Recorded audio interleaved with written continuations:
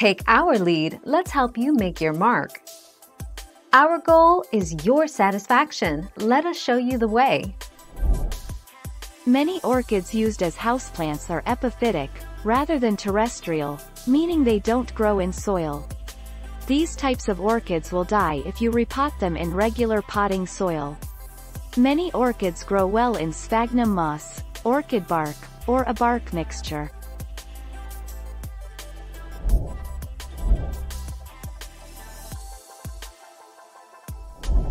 Let's help you make your mark. Although orchids enjoy being root-bound, they'll need to be repotted when the potting mix has broken down, usually every two years. Choose a time after the orchid has finished blooming.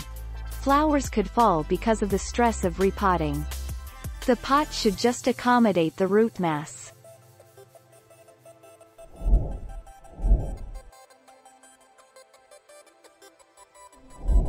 Make your mark, take our lead. How to repot an orchid. Start by looking for new growth, your cue to repot. Next, select a pot based on the orchid's root volume and growing environment. Always use high-quality potting media. Then, gently unpot the orchid. Carefully inspect and clean the roots. Finally, work in the orchid's roots and the potting mix.